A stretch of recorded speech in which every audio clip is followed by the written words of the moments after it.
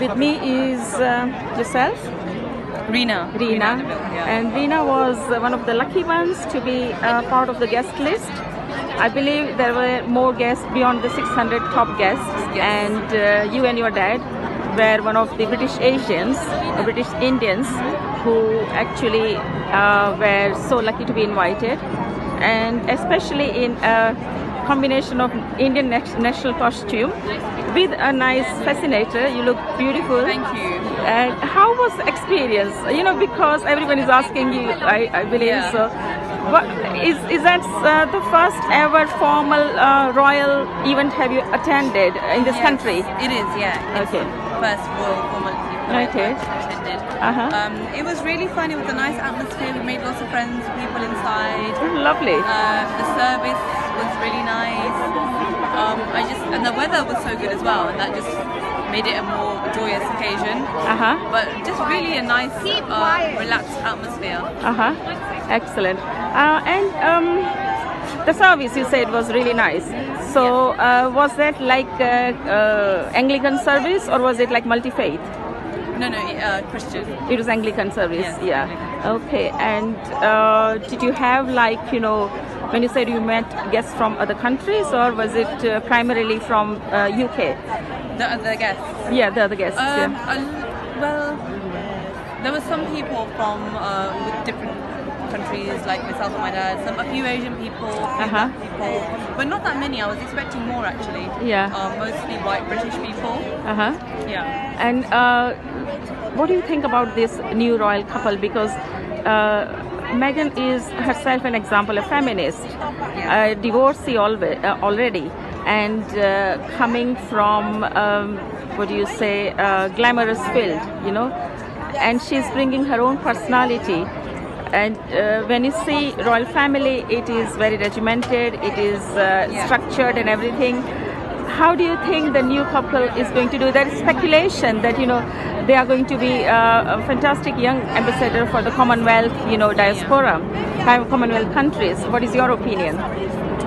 I think there are a couple that the younger generation can relate to more, Uh-huh. and also the older generation would really like them because of Harry is Diana's son, and a lot of people in the older generation really like Diana, so they're always watching Harry and William to see Mm-hmm. how they are doing and what they are doing. But I think uh, Meghan Markle, being from glamorous field, there's people that know her from her previous career, Yeah. and people that know Harry because of all his things that he does. So they will, can be a new couple for uh, the younger generation, I think, Uh-huh. and uh, be an, a good inspiration to the younger generation. They would. Do you think they will set an example of I a, think a, will. I think both of a modern royal royalty?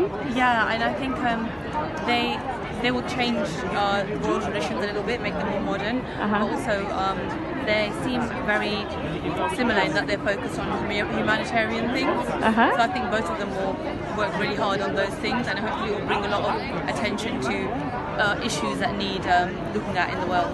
Excellent.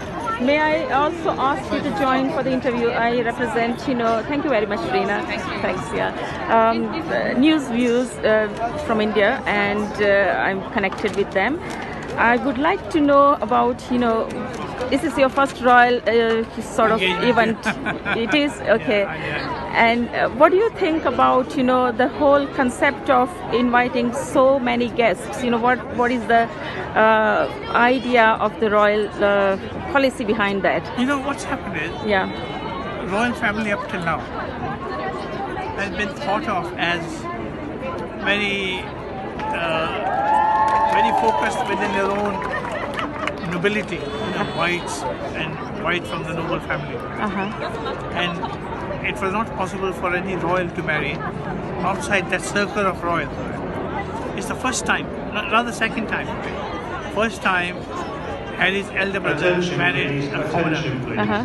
You know, This is a safety announcement. but this Train time stations are very busy. Prince Please take William your time. married an English Thank English your patience. you know, um, Kate, Yes. Kate Middleton. But this one is special. Prince Harry has, ma- has married a divorcee.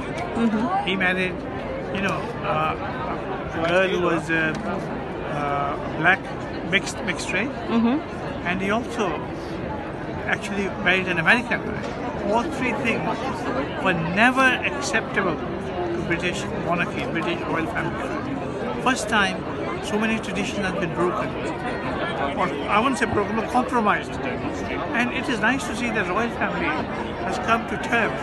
Well, if you look at the the the, the makeup of British society now, you've got all kinds of people. You've got blacks, you've got Indians, you've got high caste, you've got low caste. You know, you've got Arabs, you've got Muslims, you've got Bangladeshi. So it consists of everybody. Multicultural, very multicultural, di- diverse community. It's a melting melting point of culture. Yeah, and what what today's wedding has demonstrated is that royal family is accepted, and they are leading by example. Right? They've got mixed culture in their own family. So people's confidence in royal family is not going to go up because royal family is seen as role models, right? And they are demonstrating a role model that diverse community is not just in word, but they are actually practicing it or marrying, allowing their son to marry with a girl from diverse community. I think it's a great thing that is happening to this country, to British society It's turning point. turning sort of, point for yeah. people who see themselves, well, who have, who have been seeing themselves as people from outside other country, but now they will feel a part of this country. Yes. Great change. It's, it's, uh, do you think it's uh, it's giving a sense of inclusiveness? You know, Yes. rather than just